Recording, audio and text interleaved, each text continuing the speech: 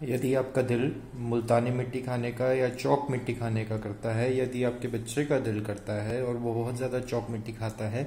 तो उस केस में हम मानते हैं कि शरीर में जो है कैल्शियम की कमी हो रही है और उस केस में हमें शुरुआती दौर में अगर आप अडल्ट हैं तो आपको कैल्शियम की टैबलेट्स लेनी चाहिए और उसके बाद आपको तिल जैसे सोर्सेज का या